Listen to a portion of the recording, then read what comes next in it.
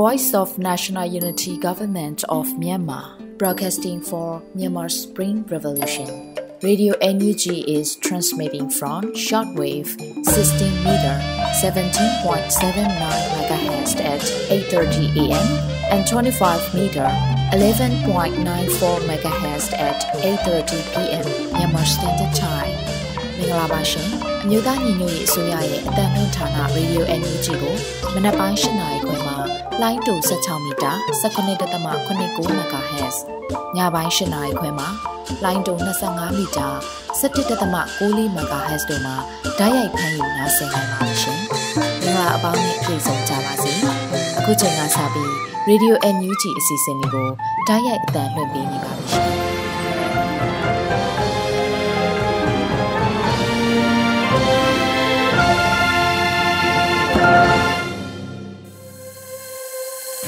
မြန်မာနိုင်ငံသူနိုင်ငံသားအပေါင်းတဘာဝပေးဆရာနာရှင်ပေတို့ကနေကင်းဝေးပြီးကိုစိတ်နှပါဘေးကင်းလုံခြုံကြပါစေလို့ရေဒီယိုညူးချီဖွဲ့သားများကဆုတောင်းမေတ္တာပို့သလာရပါတယ်ရှင်။အခုချိန်ကစပြီးပြည်တွင်းသတင်းတွေကိုတော့မျိုးဦးမွန်ကဖတ်ကြားတင်ပြပေးပါရမရှင်။မင်္ဂလာညချမ်းပါရှင်။2023ခုနှစ်အောက်တိုဘာလ25ရက်နေ့ Radio NUG ပြည်တွင်းသတင်းတွေကိုတင်ပြပေးသွားပါမယ်။ကျွန်မကတော့ຫນွေဦးမွန်ပါ။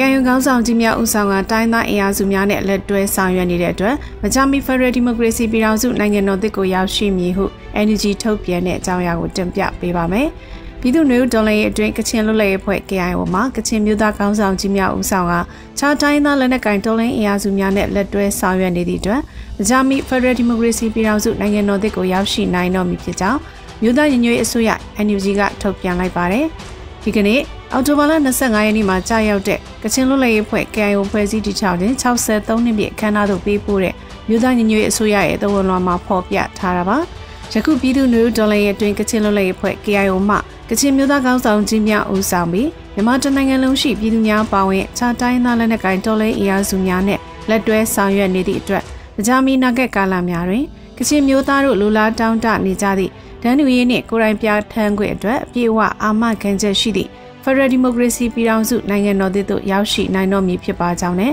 လူမျိုးရေးကြိုးပမ်းမှုများတွင်မြင့်မြတ်စွာအသက်ပေးလူသွားခဲ့ကြသည့်ကချင်တိုင်းသားများအားလုံးအတွက်ဥညွတ်လေးပြုပါကြောင်းလည်းဖော်ပြထားပါတယ်။ကချင်လူလိုက်အဖွဲ့ KIO အနေနဲ့ဆီယနာရှင်စနစ်အမြင့်ပြတ်ချေမှုန်းပြီးပင်လုံဂရီကဝတ်ကိုခြေခံတဲ့ Federal နိုင်ငံတော်တည်ဆောက်နိုင်ရေးစစ်ကောင်စီကိုတော်လှန်နေတဲ့ဖွဲ့စည်းများအားလုံးနဲ့ပူးပေါင်းကစ조사အားထုတ်နေတယ်လို့ KIO ဥထဗိုလ်ချုပ်ကြီးအင်ဘန်လာကလည်းယနေ့ကြာရောက်တဲ့ KIOD ထောင်ချင်း63နှစ်မြောက်နေ့မှာပြောကြားထားပါတယ်ရှင်။ပြည်သူချင်းချင်းဖိမကူညီခြင်းဖြင့်ကြံ့ကြံ့ခံရတည်နိုင်ရင်မြင့်တင်ပေးကြရန်ဝန်ကြီးချုပ်တိုက်တွန်းတဲ့အကြောင်းအရာကိုလည်းတင်ပြပေးပါမယ်။ဂျမစစ်ကောင်စီရဲ့ရက်စက်ရုံမှမှုတွေကြောင့်ရုပ်ပိုင်းစိတ်ပိုင်းဆိုင်ရာပြဿနာတွေနဲ့ရုန်းကန်နေကြရတဲ့ပြည်သူများအနေနဲ့ချင်းချင်းဖိမကူညီခြင်းဖြင့်ကြံ့ကြံ့ခံရတည်နိုင်ရင်မြင့်တင်ပေးကြရန်ဝန်ကြီးချုပ်မန်ဝင်းခိုင်တန်းကတိုက်တွန်းပြောကြားလိုက်ပါတယ်။ ပြည်သူတွေဟာဂျပန်စီအုပ်စုရဲ့မတရားဖိနှိပ်အုပ်ချုပ်မှုတံကိုအလူးလက်ခံနေကြရတဲ့အပြင်လူမှုစီးပွားရေးခက်ခဲကြက်တဲမှုတံကိုပါအကြီးကျယ်ခံနေကြရပါတယ်။ချို့နေရာမှာမွေဘူးရကင်းမောင်ဆိုသလိုဘာဝဘေးဒဏ်ရဲ့ထူထောင်မှုတံကိုပါခံနေကြရပါတယ်။ထွေထွေကြက်တဲခက်ခဲမှုနဲ့အတူစိတ်ပိုင်းဆိုင်ရာထိခိုက်ခံစားနေရတဲ့ပြည်သူများစွာရှိနေပါတယ်။ဒီလိုရုပ်ပိုင်းစိတ်ပိုင်းဆိုင်ရာပြဿနာတွေနဲ့ရုန်းကန်ခက်ခဲလျက်ရှိကြတဲ့ပြည်သူတွေကိုကူညီဆောင်ရှောက်မဲ့သူဟာပြည်သူများတပါအချားမရှိနိုင်ပါ။ ဒီစစ်ခွေးတွေရဲ့လူမဆန်တဲ့လုပ်ရက်တွေကြောင့်အရာရာတိုင်းမှာခက်ခဲစွာရုန်းကန်နေကြရတာလုံခြုံလွတ်လပ်မှုမရှိကြတာကိုနားလည်ပါတယ်။ဒါပေမဲ့တစုံတရာအဆင်ပြေတဲ့သူတွေကအဆင်မပြေတဲ့သူတွေကို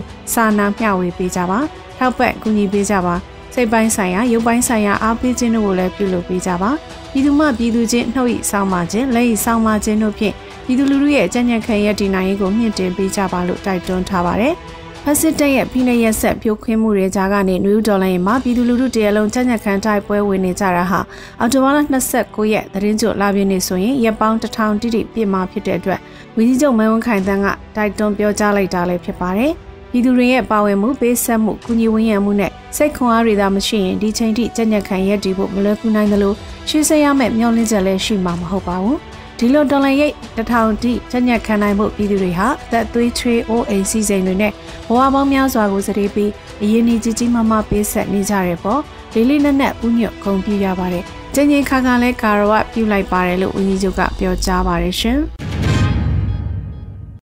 စဆက်သွယ်ရေးသတင်းအချက်အလက်နဲ့ဤပညာဝန်ကြီးဌာနပြည်ထောင်စုဝန်ကြီးနဲ့ Radio Energy ဖွဲ့တို့တွဲဆုံဆွေးနွေးတဲ့သတင်းကိုဆက်လက်တင်ပြပေးပါမယ်။ ပြည်ထောင်စုသမ္မတမြန်မာနိုင်ငံတော်မြို့သားညီညွတ်ရေးအစိုးရဆက်သွယ်ရေးသတင်းအချက်အလက်နဲ့ဤပညာဝန်ကြီးဌာနပြည်ထောင်စုဝန်ကြီးဦးထင်လျောင်ဟာ Radio Energy တန်းလွင့်အစီအစဉ်များမှတာဝန်ထမ်းဆောင်နေကြတဲ့ဝန်ထမ်းများနဲ့တွဲဆုံပွဲကို Zoom meeting မှာတစ်ဆင့်ကျင်းပပြုလုပ်ခဲ့ပါတယ်။အော်တိုဘာလ23ရက်နေ့မှာကျင်းပပြုလုပ်တဲ့အဆိုပါတွဲဆုံပွဲကိုဝန်ကြီးနဲ့တို့က Radio Energy မှတာဝန်ခံကောင်းဆောင်များဆက်သွယ်ရေးသတင်းချက်လက်နဲ့ဤပညာဝန်ကြီးဌာနမှအတူဝင်များ Radio Energy အတန်းလွင့်အစီအစဉ်များတွင်နေ့စဉ်တာဝန်ထမ်းဆောင်လျက်ရှိတဲ့ CDM မှဝန်ထမ်းများလူပညာရှင်အတတ်ပညာရှင် volunteer များအသီးသီးတက်ရောက်ပြီးရင်းနှီးပွင့်လင်းစွာဆွေးနွေးခဲ့ကြပါတယ်။ Radio Energy သည်ဆီယနာသိမ်းပြီးနောက်ပိုင်းမှာစလို့စေအုပ်စုရဲ့သတင်းအမှောင်ချခံရခြင်းနောက်ပိုင်းမြို့သားညီညွတ်ရေးအစိုးရဆက်သွယ်ရေးသတင်းချက်လက်နဲ့ဤပညာဝန်ကြီးဌာနလက်အောက်မှာစတင်ဖွဲ့စည်းပေါ်ပေါက်လာတာဖြစ်ပါတယ်။ Radio Energy မှအစီအစဉ်ကဏ္ဍပေါင်းစုံပါဝင်ပြီးခုကဲ့သို့ပြည်ထောင်စုဝန်ကြီးနဲ့မျက်နှာစုံညီတွေ့ဆုံဆွေးနွေးပြီးဒီမှာ တော်လေးနှစ်ကျော်ကာလအတွင်းတတိယကြိမ်မြောက်ဖြစ်တယ်လို့သိရပါတယ်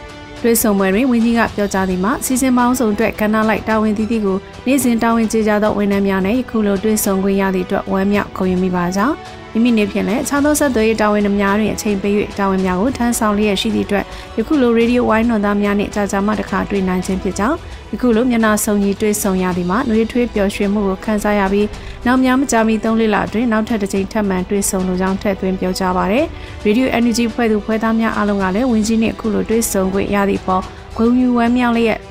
အသီးသီးမိတ်ဆက်စကားပြောကြားကြပါတယ်။ အဲ့လိုပြောကြားပြီးနောက်ဝင်းကြီးက Radio Energy အနေနဲ့ခင်းတဲ့လျော်ညီစွာတိုးတက်မှုများပြုပြင်ပြောင်းလဲသည့်သည်များကိုဝိုင်းဝန်းကြံစကြရင်စီစဉ်ကောင်းများထပ်မံတိုးချဲ့ခြင်းလုပ်ငန်းများလိုအပ်ပါတယ်။ထို့သော89အတွက်ဆွေးနွေးလိုသူများကိုပွင့်လင်းစွာဆွေးနွေးဖိတ်ခေါ်ခဲ့ပါတယ်။ Radio NUG အဖွဲ့မှဝန်ထမ်းများကလည်းပြန်လည်ဆွေးနွေးရတဲ့မိမိတို့ radio အနေဖြင့် radio လေးလိုင်းပေါ်မှအတန်လွင်ခြင်းဖြင့်အများစုသတင်းဆောင်ကြည့်မှုများပြသည့် Facebook, YouTube စသော platform များတွင်ခင်မီသောအပြင်ဆင်တင်ဆက်မှုများဖြင့်ပရိသတ်ထံတင်ပြရန်လိုမည်ဖြစ်ကြောင်းဆွေးနွေးသွားပါတယ်။ဝန်ကြီးကဆွေးနွေးပြီးနောက်မှာ Radio NUG တာဝန်ခံများကလည်းပြည်ပြင်ပြောင်းလဲသည့်နေများကိုအမြန်ဆုံးပြုလုပ်နိုင်ရန်သေးစိတ်တွေ့ဆုံဆွေးနွေးပွဲထပ်မံပြုလုပ်မည်ဖြစ်ကြောင်းဖြေကြားသွားပါတယ်။အဲဒီနောက်ဝန်ကြီးကညီကုန်းချုပ်စကားပြောကြားရမှာ တွေ့ဆုံဆွေးနွေးပွဲကိုမကြမကြာတွေ့ဆုံလို့စိတ်ရှိပြီးထပ်မံတွေ့ဆုံနိုင်အောင်လဲကြိုးစားမိဖြစ်ကြောင်းယခုကဲ့သို့မြေပြင်ဖွဲ့များနဲ့တိုက်ရိုက်ဆွေးနွေးရသည်မှာလုပ်ငန်းမဆိုင်ရာပိုပြီးထိရောက်မှုရှိသည်ဟုထင်မြင်ပြီးအစီအစဉ်များပုံမအောင်မြင်ဖို့အရေးထောက်ပံ့ကောင်းဖြစ်သည်ဟုယုံကြည်မိပါကြောင်းပြောကြားကတွေ့ဆုံဆွေးနွေးပွဲကိုရုပ်သိမ်းခဲ့ပါတယ်ရှင်။ွန်လိုင်းခက်စစ်ရှောင်းစကန်တိုက်ခိုက်ခံရမှုသက်သေများတန်တမန်များထံပေးပို့ထားဟု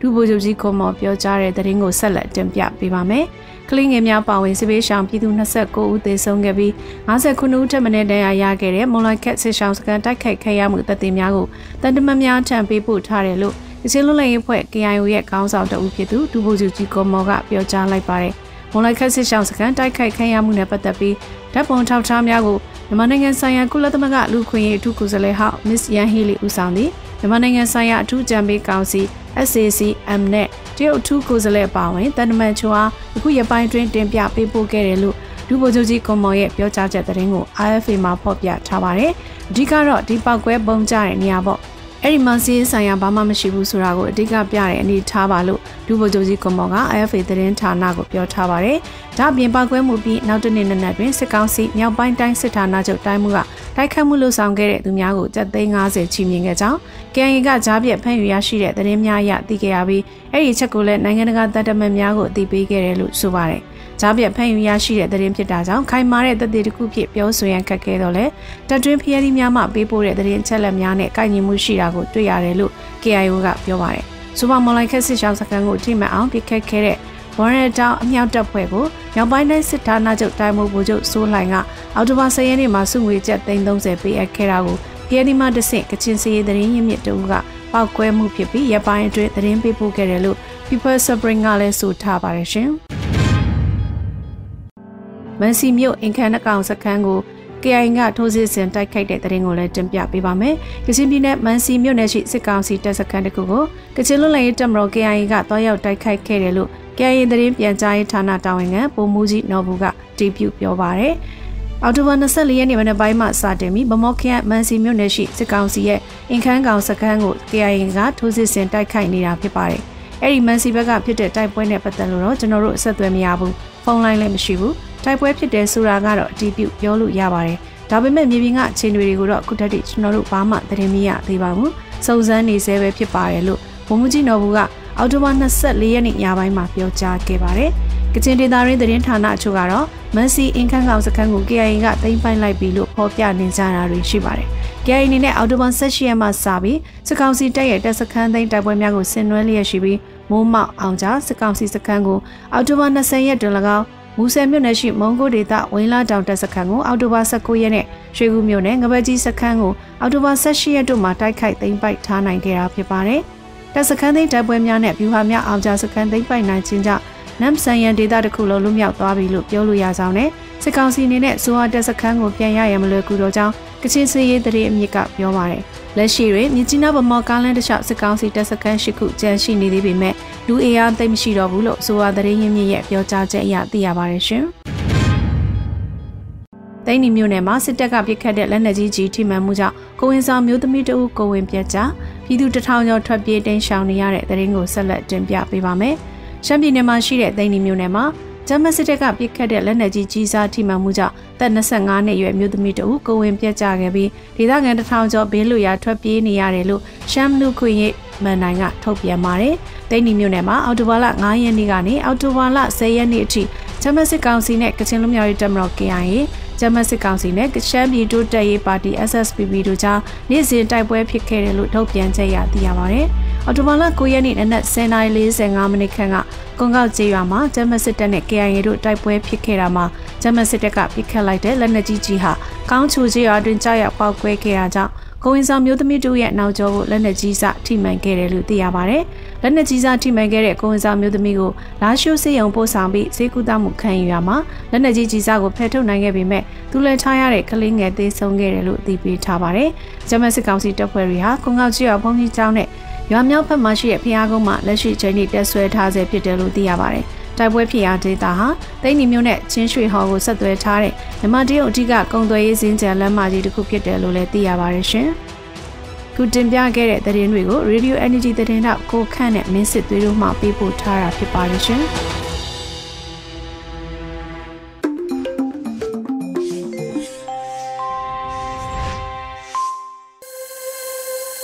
ဗီဒီယိုညွှန်ကြည့်ရဲ့ညပိုင်းစီစဉ်တွေကိုဆက်လက်တင်ပြနေပါတယ်။အခုဆက်လက်ပြီးနားဆင်ကြရမှာကတော့မကြေးမုံပေးပို့လာတဲ့စိုက်ပျိုးစည်းပွားတောင်းသူစကားတန်အစီအစဉ်ဖြစ်တဲ့မြမထောဘက်ရာသီချိန်မှာပုံသွေးရေးခက်ခဲကြောင့်ပြပဈေးကွက်ပျက်စီးမဲ့အခြေအနေနဲ့ကြုံတွေ့နေဆိုတဲ့အကြောင်းအရာကိုတော့လွတ်လပ်နေဦးကတင်ဆက်ပေးထားပါတယ်ရှင်။တောတာရှင်များခင်ဗျာအခုတင်ဆက်မဲ့အစီအစဉ်ကစိုက်ပျိုးစည်းပွားတောင်းသူစကားတန်အစီအစဉ်ပဲဖြစ်ပါတယ်။ မြမထောဘရာသီမှာကုံသွေးရေးအခက်ခဲကြောင့်ပြပဈေးကွက်ပျက်စီးမဲ့အခြေအနေနဲ့ကြုံတွေ့နေရပါတယ်။ဒီသတင်းကိုမတ်ကြီးမုံကပေးပို့ထားပါတယ်ထိုင်းနိုင်ငံကိုအတိကတင်ပို့နေတဲ့ထောပတ်သီးတွေရာသီချိန်ရောက်လာပေမဲ့အာနာသိန်းစစ်တပ်ကအခွန်တိုးမြင့်ကောက်ခံလိုက်တာကြောင့်ဈေးကွက်မတင်ပို့နိုင်လို့အသီးတွေကျွေကြတာပျက်စီးတာတွေရှိလာပါတယ်ထောပတ်သီးတဒန်းကိုအရင်ကတင်ပို့စီရဲ့ကျပ်3သိန်းလောက်ပဲရှိနေရကနေအခုခါမှာ ဖရဲတခွားစတဲ့အခြားသီးနှံတွေလိုပဲထောပတ်သီး1ကီလိုကို3.85ဒေါ်လာနှုန်းနဲ့အခွန်2ရာခိုင်နှုန်းကိုစတင်ကောက်ခံလာတာဖြစ်ပါတယ်။ပို့ကုန်ကရတဲ့ဝင်ငွေပေါ်မှာလဲထိုင်းငွေတစ်ပတ်ကိုမြန်မာကျပ်ငွေလဲနှုန်းကအပြင်ပေါက်ဈေးမှာ1100ကျပ်ရှိပေမဲ့85ဘတ်နှုန်းနဲ့လဲလှယ်ရမှာဖြစ်ပါတယ်ဒီလိုကုန်သွယ်မှုအခက်အခဲတွေကိုထိုင်းနိုင်ငံကိုတင်ပို့နေတဲ့တောင်ကြီးမြို့အခြေစိုက်ထောပတ်ကုန်သည်တူကအခုလိုပြောပါတယ် လက်ရှိပေါ့အရင်တော့တဒံကုန်ချက်စိတ်ဆိုတဒံတဒံရဲ့ကုန်ချက်စိတ်ဆို2သိန်း3သိန်းအဲ့လိုပဲရှိတယ်ပေါ့နော်အခုဆိုတဒံကုန်ချက်စိတ်ဆို4သိန်း4သိန်းကျော်လောက်ဖြစ်သွားတယ်ဘာလို့ဆိုဒီနိုင်ငံတော်ကသူတို့အခုကိစ္စနေရခိုင်တော့ဆိုပေမဲ့ကျွန်တော်တို့ကြိုက် agent 3ရတယ်ဗျဟုတ်ပဲကျွန်တော်တို့ဒီတစ်ဖက်နိုင်ငံနဲ့ရောက်ဖို့ဆို QR code တွေချောက်ဖို့ပါညာဆို agent တွေ3ရတယ်ဆိုတော့ agent စိတ်နဲ့ ကျွန်တော်တို့ဒီလမ်းပေါ်မှာလည်းကုန်ချက်စိတ်နဲ့ပေါ့ခြေဟိုခြေဒီခြေစိတ်နဲ့ဆို5 6သိန်းလောက်တက်သွားတာပေါ့နော်2သိန်း3သိန်းနဲ့5 5သိန်းလောက်တက်သွားဆိုတော့အခုမှပဲတောင်သူတွေကအခုမှပဲစားဆိုင်တာစားဆိုင်တာထွက်တာလည်းမကြသေးဘူးဆိုတော့တောင်သူတွေပေါ်ပဲတက်ရောက်မှုတွေရှိတော့ဗျာအရင်တော့1ကီလိုကိုကုန်ကျစရိတ်200 300ကြားရမယ်ကုန်ကျစရိတ်ကိုဒီအခုခက်ကိစ္စကြောင့်မလို့1ကီလို5 600လောက်တဝက်လုံးလောက်တက်သွားတယ်ဗျာထောပတ်တီးကိုရှမ်းပြည်နယ်တောင်ပိုင်းမှာစီးပွားဖြစ်အတိတ်ကစိုက်ပျိုးပြီးချင်းပြည်နယ်၊ကယားပြည်နယ်၊ကချင်ပြည်နယ်၊စကိုင်းတိုင်းထပ်ပိုင်းတို့မှာလည်းစိုက်ပျိုးကြပါတယ်။ တောင်ပေါ်ဒေသခံတွေအတွက်မိုးရာသီမှာအတိတ်ကစိုက်ပျိုးတဲ့ရာသီပေါ်တီးနှံတွေထဲမှာအစိတ်ထုတ်ပြောင်းကအတိတ်ကဝင်ငွေရတီးနှံဖြစ်ပါတယ်။ကော်ဖီလက်ဖက်စတဲ့နှစ်ရှည်တီးနှံတွေထဲမှာတော့ထောပတ်တီးကအရေးသွေးကောင်းအောင်ခုဆွရိတ်သိမ်းနိုင်လာတဲ့ဤပညာတွေရရှိပြီးတဲ့နောက်မှာထောပတ်တီဟာဈေးကွက်ကျဲပြန့်လာပြီးတောင်သူတွေအားထားရတဲ့ဝင်ငွေရအသီးနှံဖြစ်လာပါတယ်။လက်တလုံးမှာတော့အခွန်တိုးမြင့်ကောက်ခံလာလို့အသီးတွေမတင်ပို့နိုင်ပဲ တနစ်တာအပင်ပြုစုထိမ့်သိမ်းစရိတ်တွေအပြင်ထောပတ်တီးကရတဲ့ဝင်ငွေအကျိုးမြတ်ကိုပါလက်လွတ်ဆုံးရှုံးရတော့မယ့်အခြေအနေဖြစ်လာပါတယ်ဒီအခြေအနေကိုဟိုပုံးမြို့နယ်မှာထောပတ်ဆိုင်တောင်တူတူကအခုလိုပြောပါတယ် နိုင်ငံခြားရောင်းဝယ်လို့အဆင်ပြေတော့ကျွန်တော်တို့လုပ်တဲ့ထောက်ပံ့တွေတော့အဆင်ပြေတယ်လို့ပဲတောင်သူအနေနဲ့အဆင်ပြေတယ်လို့ပဲပြောရမှာပေါ့ဒါပေမဲ့တကယ်တမ်းဆိုတော့စိတ်ထဲမှာပေါ့နော်ဘယ်အစိုးရပဲအုပ်ချုပ်အုပ်ချုပ်ပေါ့နော်တကားဖွေးစနစ်နဲ့ဆိုရင်တော့ကျွန်တော်တို့ပြောတယ်အခုလောချယ်ကြတော့ဘာမှလည်းမကြည့်ဘူးဖြစ်နေကြိုးစားတာလည်းတနည်းထက်နဲ့မဟုတ်ဘူးလေထောက်ပံ့ဆိုတာ၃နှစ်၄နှစ်လောက်မှအစရောင်းရတယ်ဆိုတော့ဒီနှစ်ဒီလိုပုံစံတော့လုပ်တဲ့လူလည်းသွန်ကုန်တော့ပေါ့နော်သူတို့လည်းရောင်းရတာခက်တဲ့ခါကျတော့ကုန်ကြတာတော့များဥပမာမျိုးစားတဲ့အိတ်ဆိုရင်တော့ရာရာမီလာဆိုရင်တော့ နောက်ဆုံးများတဲ့ဟာဆိုရင်တော့တအိတ်ကိုတသိန်း6000လောက်ရှိတယ်အဲအဲ့လိုမျိုးအခက်ခဲတွေတော့အစာကျွေးတာရဲ့အတီးပေါ်လာတဲ့အချိန်ကျမှဒီလိုဖြစ်တာတော့နည်းနည်းလေးတော့စိတ်ပြက်စရာဖြစ်တယ်ပေါ့အရှင်ရလာပြီဖြစ်တဲ့ထောပတ်တီစိုက်ပျိုးထုတ်လုပ်မှုလုပ်ငန်းကိုမပြတ်စည်းအောင်အာဏာသိမ်းစစ်တပ်ရဲ့အခွန်ကောက်ခံတဲ့စနစ်ကိုရှော့ပေါ့ပေးဖို့စိုက်ပျိုးထုတ်လုပ်ကုန်သွယ်သူတွေကအခုလိုတောင်းဆိုနေကြပါတယ်။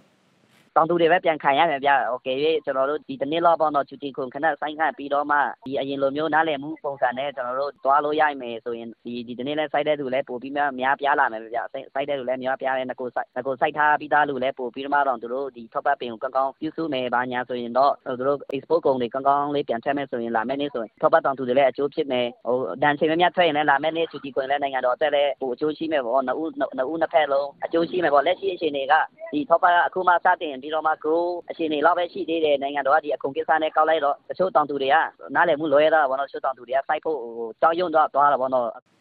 ထိုင်းနိုင်ငံကိုတင်ပို့နေတဲ့ Hus ထောပတ်မျိုးကဧက8000လောက်စိုက်ပျိုးထားပေမဲ့ဈေးကွက်တင်ပို့နိုင်တဲ့စိုက်ဧကမှာဧက900လောက်သာရှိပါတယ်။တဧကကိုထောပတ်သီးက3တန်လောက်ထွက်ရှိပြီးစုစုပေါင်းတန်ချိန်1500ကျော်ထွက်ရှိနေတာဖြစ်ပါတယ်။အခုတင်ဆက်ပေးခဲ့တဲ့မြေပြင်သတင်းအကြောင်းအရာတွေကို Radio UNG သတင်းတောက်မကြီးမောင်ကပေးပို့ထားတာဖြစ်ပါတယ်ခင်ဗျာ။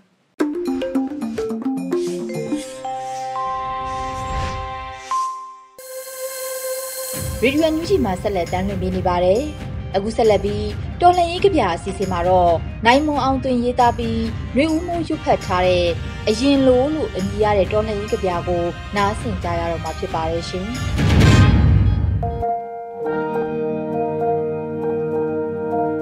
အရင်လိုအရင်လိုစပင်ရှည်ထားတယ်။အရင်လိုစိတ်ကတိတ်မရှိ။အရင်လိုလက်ဖက်ရည်ဟာပုံမှန်ကြ။အရင်လို အလွမ်းတွေဟာနေသားမကြအရင်လိုကောင်းပွိုင်ကားတွေကြည့်အရင်လိုအချိန်တိုင်းကြည်အနေခဲ့တယ်အရင်လိုတခြင်းအကျန်းစားတွေဖွင့်အရင်လိုအမှန်တရားဟာပိုလို့တောင်ကြမ်းတမ်းခတ်ထန်နေစေအရင်လိုမိုးပြိုရင်လည်းအများနဲ့ပဲတဲ့အရင်လိုငါစိတ်တွေဟာကိုကိုရမယ်အရင်လိုထီးမပါဘာမပါကောက်ကငင်ခါထွက်ခဲ့တယ်အရင်လိုမိုးဟာ ကန်ဆိုးမှသွားလျာတကောက်ကောက်ပဲနိုင်မအောင်သွေး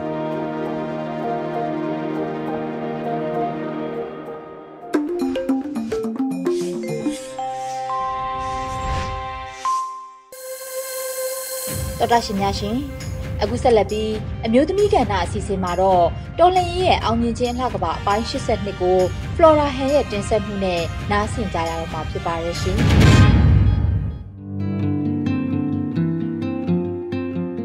အားလုံးပဲမင်္ဂလာပါအခုတစ်ပတ်ကျမရဲ့အမျိုးသမီးကဏ္ဍကိုစာရေးနိုင်ဖို့ကျမရဲ့လုပ်ဖို့ကင်ဘက်တွေရင်ဘတ်ချင်းတူတူတွေရဲ့ဘဝခရီးဒါမှမဟုတ်စိတ်သက်ကြံခံမှုနဲ့ရှင်တန်ဆဲနုပညာကျောင်းတွေကိုဂုံယူဝမ်းမြောက်နေမိတဲ့ကျောင်းလေးတွေကိုကျမရေးသားလိုပါတယ်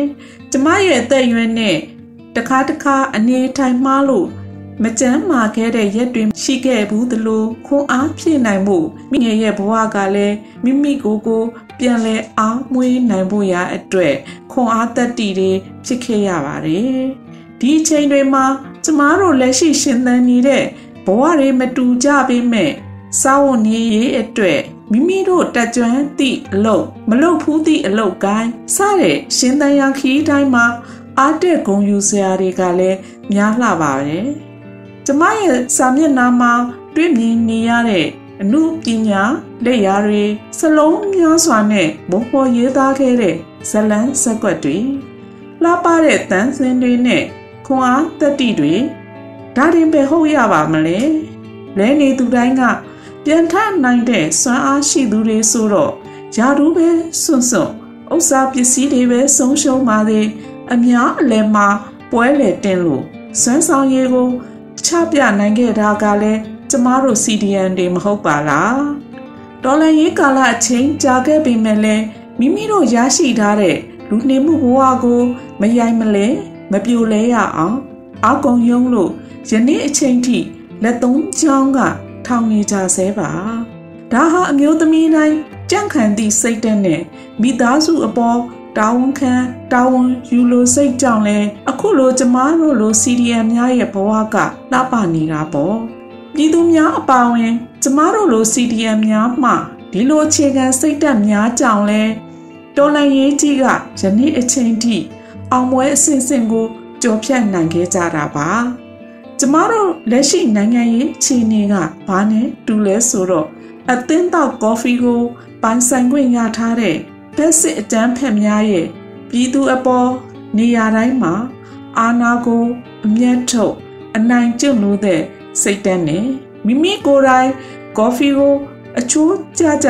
တက်ဆဖြောတောင်းနေကြရတဲ့ပြည်သူဗက်သားများရဲ့ဘဝကလည်းခက်ခဲပင်ပန်းလှတာပေါ့ငွေကြေးဘဏ္ဍာဆိုတာကလည်းပြည်တွင်းပြည်ပ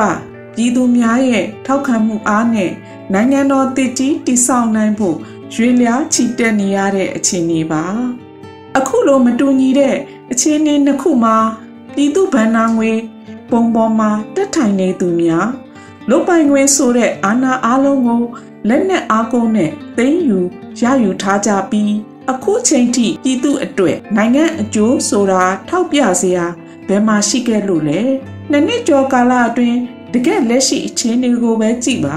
ရခင်လိုအခြေခံလူတန်းစားများရဲ့တနေ့လုခနဲ့စားဝတ်နေရေးကိုပဲပြန်ကြည့်ကြည့်ကြက်ဥကိုတောင်ညမနဲ့နတ်မမှန်နိုင်တဲ့ဘဝတွေပါ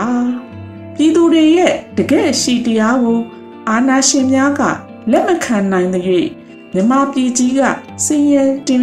နှစ်သက်တဲ့နှစ်လို့လူပြစ်ရှုံးနေကြအောင်မှာပါပဲဒီလိုအခြေအနေတွေကိုရုန်းကန်နိုင်ဖို့ဆိုတာပြည်သူတွေစီးလုံးဖို့လိုတယ်လို့ ပြည်သူများမှတော်လှန်ရေးအတွက်လိုအပ်နေတဲ့အထောက်ပံ့များကိုကူညီနိုင်သည့်အနေအထားလိုက်ဆက်လက်ပံ့ပိုးကူညီနေဖို့လည်းလိုပါတယ်။ကျမတို့မိခင်တယောက်အနေနဲ့နာဂတ်မှာ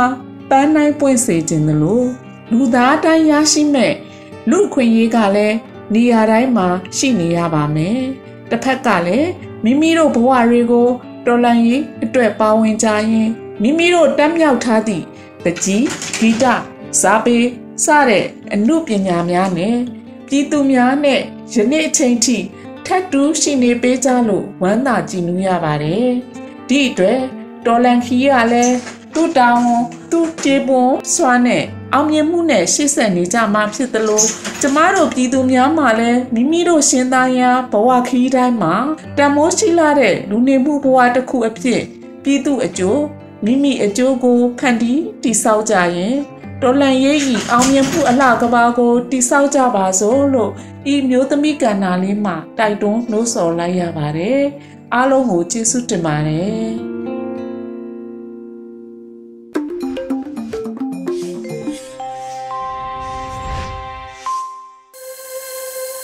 ရေဒီယိုညူးကြီးကိုနာတော်တာဆင်နေတဲ့ပရိသတ်များရှင်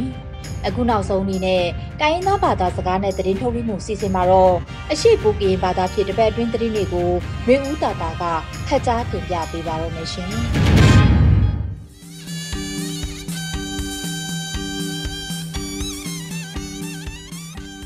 အော်ချွန်လာဆိုင်အခါယုရေဒီယိုအန်ယူဂျီကလနွေတောင်ပန်စကဲကဲထောင်းအခိုင်ကျုံးတယ်လဖာနော်မလောပလောထောင်းပါပလမှုထောင်းပြတာစခိုင်နော်စီလောယရေဦးတတလော ဂျပလနိုင်လက်နော်ဒီထုံက H3 ခေါင်ပယောင်ဟမနိုင်တဲ့နော်လောင်တာဖအာနာပိုင်ဩစာတဲ့ဖိပါလာချက်ပိပိုင်ဒီချက်မပူမကျင်နော်အန်ယူဂျီယာယီသမဒဒူဝလက်ရှိလာအောင်ရလောဝိတာချက်ခိုင်ဆက်ပလအော်တိုဘာတွေတောင်းခချက်တဲထောင်းဝေပါလက်စတိုင်းဣစရီပရိပခအဖွင့်ယူအယက်သားကမလို့တဲ့ဘာတိအောအားဒီစတုံးထောင်းတိုင်ထောင်းလောင်ခွန်ဘာဟုတ်အားအကောင်တာလမောင်းဘာအခုကျုံအန်ယူဂျီအဆူရယာယီသမဒဒူဝလက်ရှိလာနော်လက်တူတာ လူမှုကွန်ရက်ဖန်ကိုအော်တိုဘာချစ်ခွေတောင်းခလောဝိတာစီလောချက်တော့ကဲတောင်းအပန်လေတုံက East Street ကောင်ခေါပယမနိုင်တယ်လကခေါမယမနိုင်အားအားလေးဘာချက်ကဘိုက်ထားကိုပါလက်စတိုင်း East Street နိုင်ဖာလောက်ချက်နော်ကမ္လို့အကောင်လူသားချင်းစာနာထောက်ထားမှုစမှာပိုက်ကုတ်ကလုတ်စမှာယူကောင်းမရတဲ့ဖြီးပါလာအေပလက်တီကောင်းပယတိကောင်ပိုးစာတကခိုင်ခုံတိကောင်ပိုးစာတဲ့လောက်ချင်တော့ဒီ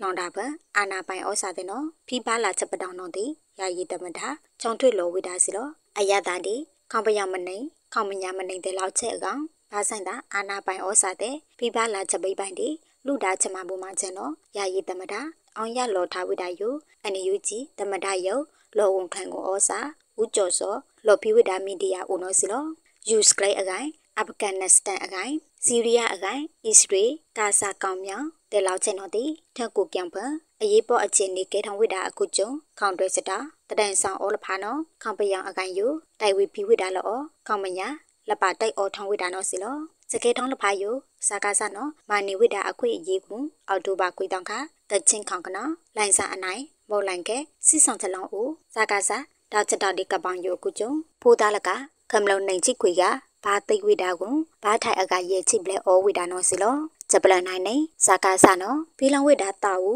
မိဘုံယဒါဘာအခထလန်နော်ဒုတာကုဒုကွမ်မောလောဝိတာဆပလန် KIA တိမ်မနေတာအောင်ကြလက်ချလောင်တာကိုဒုတာကုကွမ်မောလီထုံဝိတာကစာကားစနော်လက်ကပောင်ယူလချောင်းဖီလောင်ဝိတာတာဝူအကောင်မိဘုံယမိဘုံအခထလန်တာပါနော်လောဝိတာစီလောစာကားစတောက်ချလောင်လက်ကျုံမွဲဝေမိုးမဒေါကနာအောင်ကြတောက်ချလောင်ဖွဲ့ကို KIAD မဟာမိတ်ပုံတာအကုတ်လဲနော်အော်တိုဘာအတောင်းနိုင်ချိကထောင်းတော်တိတ်ခွိုင်းဝိတာကိုတန်တောက်အခရိုက်တာနော် ကချင်လူလာရေကောင်စီ KIC ဒုဥက္ကဋ္ဌဒုတာကိုဒုကောင်မောလီထုံဝိတာစီလောရဲထိုင်ဝိတာတောက်ချလောင်တာအခအဝိချုံမွန်ထာနော်လေအခုတောင်ကကီလောင်မနိုင်ထားဝိတာလက်လိုက်အောက်ဖုံကိုအဝိဒုံမှုကွန်ရဲဖုံကိုအော်တိုဘာနိုင်ချစ်တန်တောက်ကေမနာခနော်ကီထားဝိတာစီလောဒီဖိငိုင်ပြပြဝိတာတောက်ဝ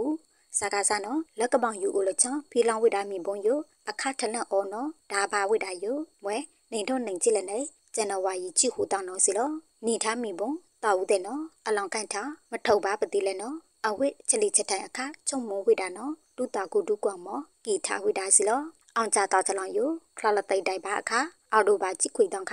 စကားဆနော်တဝိတာလေးကပောင်ယူကိုဒီလိတ်ထိတ်ခေါ်တဝိတာအခုကျုံတဝိတာချအောင်ကျော်တိတ်နာတဲ့အော်နော်ဒီရပါစီလောဂျပလန်နိုင်တန်လက်ရိုက်လက်ပလကြောက်ကြီးလောင်တာပူးစားတဲ့ဘာတော်ဝေစာကာစတောက်ချက်တောက်ဒီဇုံဖုံဖာတူကပောင်ယိုကုကျုံမကကွဲမနေအကောင် ပြေလောင်ဝိတာချက်ကကွဲတပြောင်ချက်ပလန် KNU တာမုံတန်ညောင်လေးပင်ကလကြောက်ကြီးလေဒူဒကနောက်ဖလောင်တာမနိုင်တဲ့နော်တာကပောင်ယိုဒီဇုံဖုံဖာတူပြေလဘာဘာတူမကကွဲလောင်တာအခုကျုံပြေလောင်ဝိတာတပြောင်နော် KNU ထောက်ထောင်းလောဝိတာချက်ပလန်နော်စီလောလက်ရိုက်လက်ပလကြောက်ကြီးလေဒူဒကနာရှစ်တောင်ရှိုးမွန်နောင်လကော့ဖာအော်ဝေရာချတာတဝွန်တယ်လဖာတဝွန်ဘူးစာတယ်လဖာနော်ပယံတာဒါဝိဒါကုကျုံ KNU လေဒူဒကနာ ကျမရေလောင်ထောင်း Free Burma Ranger FPRD ဖလို့အရေးပေါ်မဘူမချန်ပြီးကျမအကုတ်လဲနော်ပုံသားကိုဖီလောင်ဝိဒါကျမဘူမချန်ဖီလောင်ဖီဝိဒါတပြောင်တော့စီလောပတော်လောင်အော်တိုဘာကြည့်ဟူတောင်ခါကြောကျုံကန့်ချယူခွာပြီးချက်မာဒီလူတာချောင်းချောအော်တယ်လဖာထပ်ပါဖီဝိဒါကိုမကကွဲလောင်တာဇုံပုံဖာတူတီကပောင်ယူပြမနီအကောင်ဖီလောင်မှလူဖီဝိဒါတပြောင်အော်နော် KNU ထောက်ထောင်းလောဝိဒါချက်ပလန်နော်စီလော จลีချက်ထိုင်အပလူဒါဝိဒါချောင်းချောဒီတိတ်တယ်လဖာယူ free burma ranger ပြီးအကုတ်လဲနော်အဒီကတပဘီဝိဒါနော်တိလောဝိဒါစီလောကြောက်ကြည့်တုကနော်ယူတပယောင်တာနော်အော်ကီပီမဒီအယက်တာကိုဒေတာကပောင်ယူကခွိုင်းလောင်ပုတ်တော့ချက်တာခါဝိဒါဆုံဖုံးဖာဒုအခုကျုံဘာထဝိဒါလက်ရိုက်လပလောင်အော်ဝေကိုအခလာလဘေယူလောင်တာပတဝန်တလဖာချက်တော်ဝိဒါယူအယက်တာဘာထိုင်ရိတ်တဲ့ဘာထိုင်ကကိုချက်ဘူးချက်ခါတဲ့ဘာထိုင်တိတ်အော်ဝိဒါနော်စီလော